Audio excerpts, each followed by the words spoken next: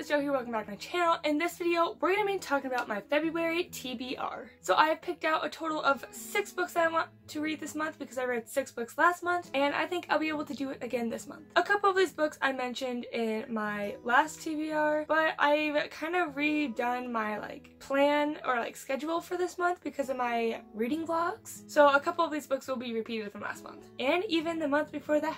Starting off this TBR, I want to read Colleen Oakes' Wendy Darling series. I'm doing a reread of this series and I am vlogging it, so I'm hopefully going to be doing that. I'm really excited to be rereading this because this is one of my favorite series. I have wanted to make a favorite series video, but I am still struggling to figure out the placements of my favorite series. I feel like I know what they are, but I don't know the placement compared to like, say, this book. I don't know, so I need to figure that out. But yeah, so for this next week, I'm planning to read these three books, and so I'm really excited for that. I'm doing a reading vlog, so stay tuned for that. So this series is a retelling of Peter Pan, a much darker kind of retelling than what we've seen from Disney, so it's a lot different from, I guess, my childhood. The next book that I want to read is After by Anna Todd. I am planning to read this book with my friend Cassie. I got this book for her for her birthday. So I'm planning to read those three books this week and then hopefully I'll be able to start on this with Cass. Um, I think we all know that I'm going to get this done like at least a couple of days and Cassie's probably going to take a couple months because she doesn't like to read,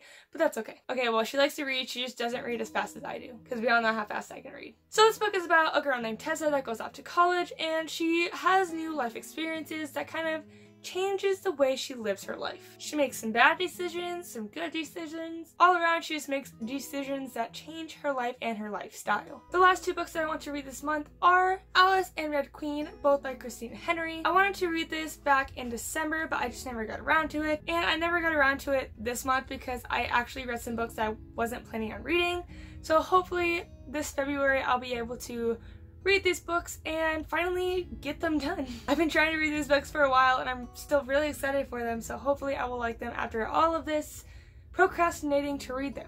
In these books, we go through the point of view of Alice and the Red Queen. Alice is kind of put into a mental hospital for some odd reason, and she ends up escaping, but there's something darker that escapes with her. It's almost her mission to try to not really kill this darker thing, but try to figure out what it is and how to get it back. So those were my six books that I'm planning to read in February, and I'm adding an extra one in case I get done with those. Pretty much 90% of that TBR was really short books. So if I do end up getting all those books done, I want to read Serpent and Dove by Shelby Mahurin. I've been trying to read this for a very long time. I tried to read my last vlog, reading vlog, but I never got around to it. So hopefully I'll be able to get to it this month because the author is releasing the second book cover in two days, which is going to be February 5th, so I'm really excited for that.